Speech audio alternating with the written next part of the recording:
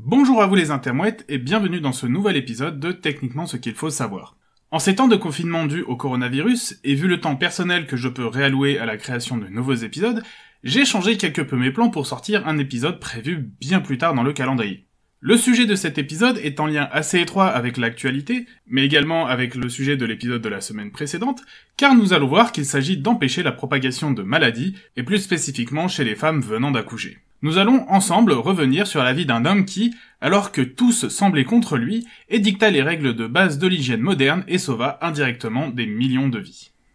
Ignace Semmelweis naquit en 1818 dans une famille marchande de la grande ville de Bouddha, cette ville sera plus tard, en 1872, fusionnée avec le quartier de Obouda, plus au nord, ainsi que l'autre grande ville située sur la rive est du Danube, Pest, formant ainsi Budapest, la capitale hongroise. Mais je digresse, recentrons-nous sur notre histoire.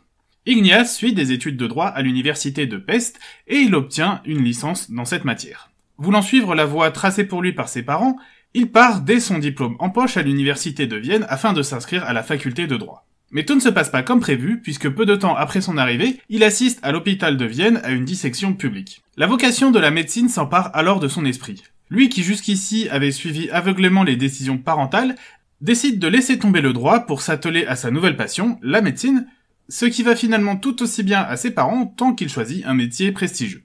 Mais ce qu'il ne sait pas encore, c'est que cette autopsie d'une femme morte d'une fièvre puerpérale est prémonitoire sur l'impact qu'il aura sur des millions de vies futures. Ses études de médecine se passent sans encombre, hormis les railleries de ses camarades autrichiens qui n'ont de cesse de se moquer de son fort accent hongrois. Une fois son diplôme de médecine obtenu, en 1844, il va suivre des cours pratiques de médecine obstétrique à l'université de Vienne, avant d'être embauché comme assistant au service de médecine obstétrique de l'hôpital général de Vienne.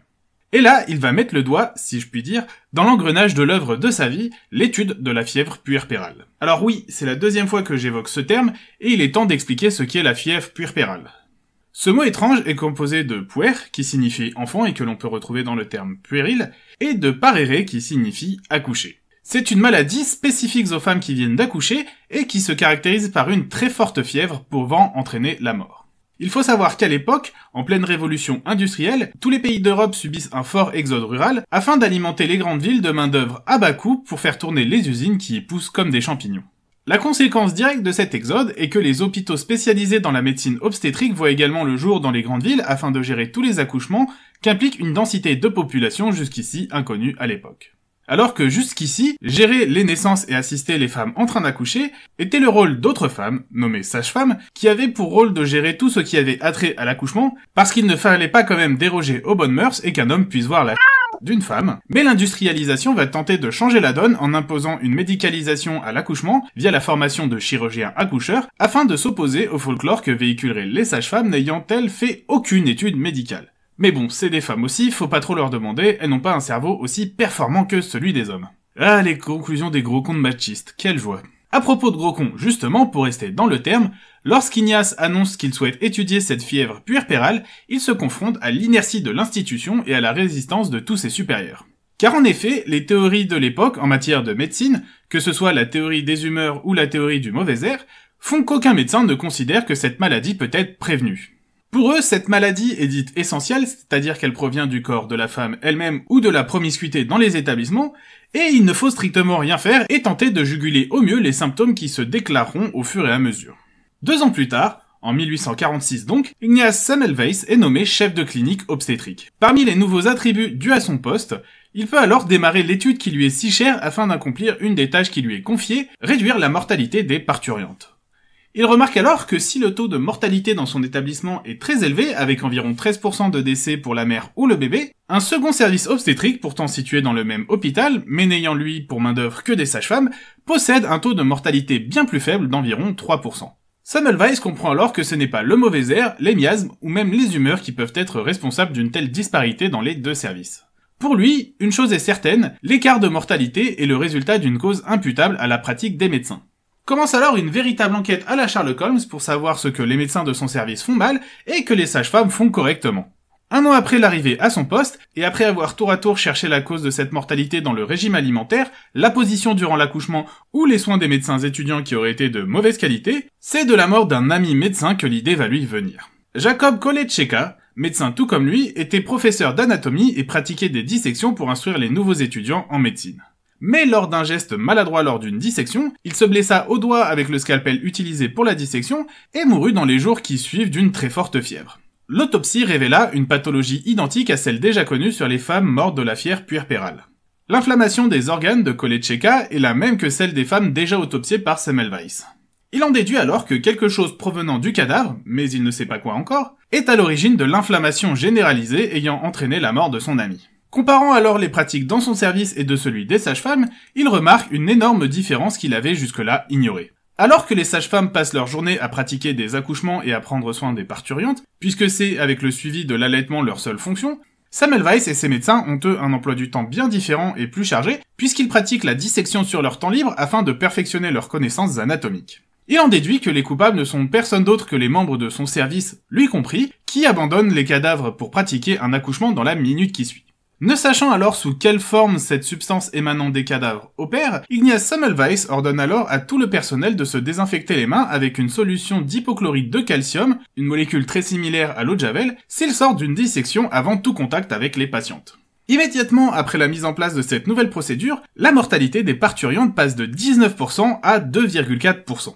Et il ne faut pas se le cacher, Ignace est très fier de ce résultat, puisqu'il arrive au final à faire bien mieux que les services des sages-femmes qui, elles, varient toujours autour des 3% habituels. Les premiers mois se passent sans écueil, mais dès la fin du premier trimestre de désinfection, le taux de mortalité se met à croître et double pour se stabiliser autour de 5%. C'est certes mieux qu'avant, mais c'est bien moins que le service des sages-femmes, et surtout le plus important, c'est qu'il est possible de faire mieux.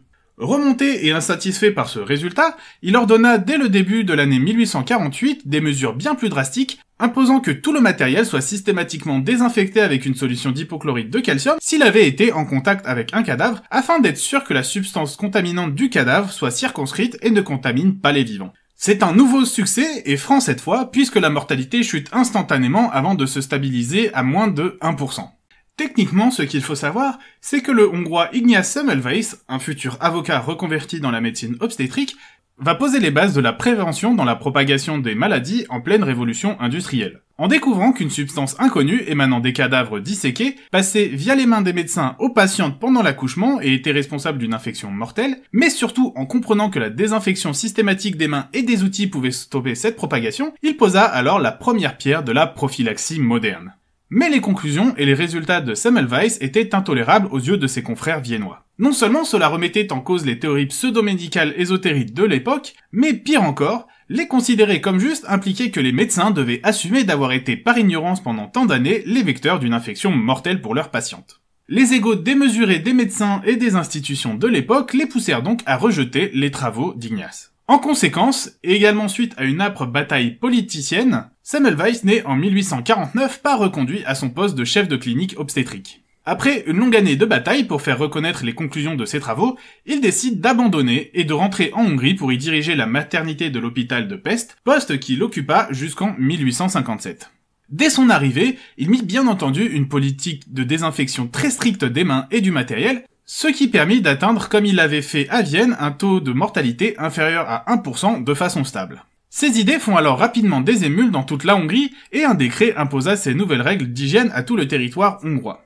Malheureusement pour les femmes viennoises, le successeur de Semmelweis ne fut pas aussi intransigeant avec l'hygiène et la mortalité remonta rapidement après le départ de ce dernier. Mais l'opiniâtreté de Semmelweis le poussera à parcourir les congrès médicaux afin d'exposer ses résultats à ses confrères tout en n'hésitant pas à traiter de meurtrier ceux osant être en désaccord avec lui, ce qui, on ne va pas se le cacher, est une très mauvaise façon d'expliquer aux gens qu'ils ont tort, même si vous avez raison. Ces batailles ininterrompues causeront chez lui une forte dépression nerveuse. Et en juillet 1865, il retourne à Vienne sous la contrainte de ses amis et de sa famille pour y être alors interné dans un asile psychiatrique privé.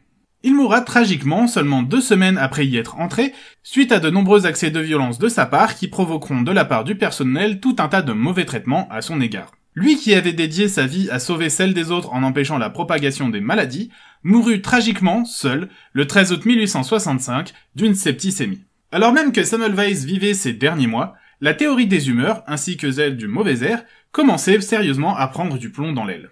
Car partout en Europe, de nombreux médecins commençaient à étudier les sécrétions utérines purulentes des femmes mortes de la fièvre puerpérale et à y découvrir ce que l'on appellera des microbes. Louis Pasteur sera le premier, en 1879, à réussir à cultiver l'agent responsable de cette fièvre, sonnant le glas des théories ésotériques et annonçant l'ère triomphante de la recherche des germes. Anton Rosenbach fera cinq ans plus tard le lien entre ce microbe, nommé Streptococcus pyogenes, et d'autres maladies dont il est responsable, comme la scarlatine ou des angines, mais il faudra attendre 1935 pour que Leonard Colebrook parvienne, à l'aide d'un médicament antibactérien, à obtenir une guérison sur une malade atteinte de fièvre puerpérale. De nos jours, les traitements antibiotiques ont permis de bien mieux traiter les infections des parturientes, tout du moins dans les pays développés où l'accès aux soins et aux médicaments est facile.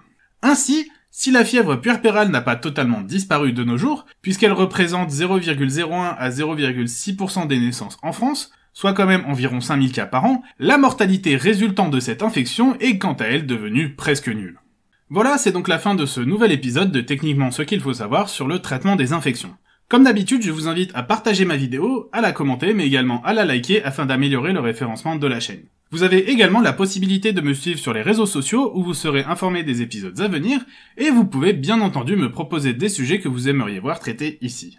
Bien sûr, si ce n'est pas déjà fait, je vous invite à vous abonner et à cliquer sur la cloche afin d'être informé des nouvelles vidéos et de ne rien rater de l'actualité de la chaîne. Je vous dis en tout cas à bientôt pour un nouvel épisode de Techniquement ce qu'il faut savoir.